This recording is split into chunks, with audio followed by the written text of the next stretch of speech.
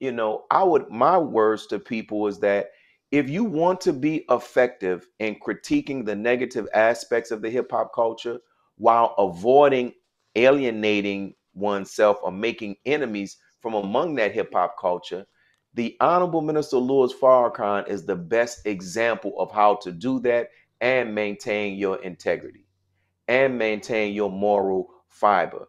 However, the minister still does it in a way where he's still able to attract these artists and they come to him in public and in private, desiring to have counsel with them. And then when the minister is when he's when he gets them next to them, he begins to start teaching them because as they always say, you know, look past the fault and see the need.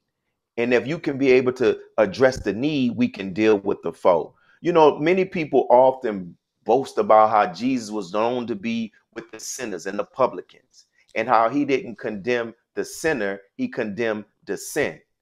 Right. And I understand that even more so, not from reading the Bible, but from the example of the Honorable Minister Louis Farrakhan, because he has that way of being able to condemn the behavior that has been produced in our people, but by but but not damaging our people, right?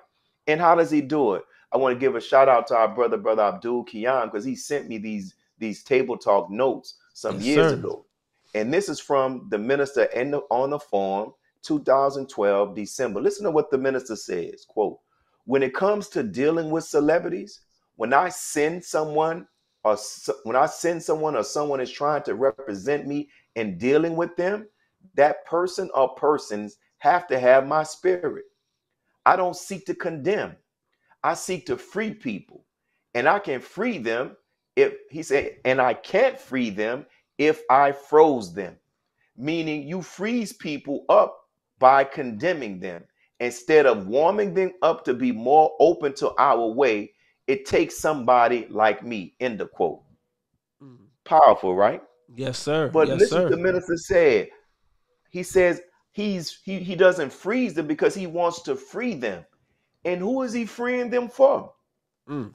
And that's the thing that we have to understand. And many of us don't want to address that, that there is a satanic control of the music industry. And go. it's the there same satanic control that controls our community. So I think about when I was reflecting on this, and I think about Jesus in the scripture. He didn't. Oh, you watch these movies, the Exorcist movies. There's one that's on YouTube, not on YouTube, on Netflix now called The Pope's Exorcist. Okay. But one of the common themes in these movies, when they go to cast out the demon, they don't attack the person that's addre- that's possessed by the demon. They mm. attack the demon and they realize that it's the demon inside of this person that is causing them to act like that.